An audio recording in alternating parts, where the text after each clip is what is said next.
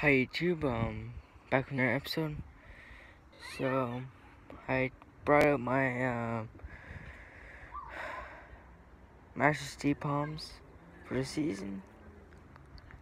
It's getting warmer now, up in the 15s, low of 6 and 8 and 9 and 10. Which I'll do fine, I'm positive. Maybe some burnt tips till summer, but like, other than that, palm spears are looking really healthy. So yeah, I got two of them.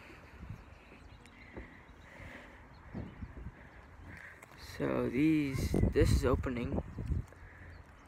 Look, we got two here. Um, nice and healthy. Comment down below if I should bring them back inside or not. Or they should I'm positive this should be fine until summer. So yeah, thanks for watching. Bye.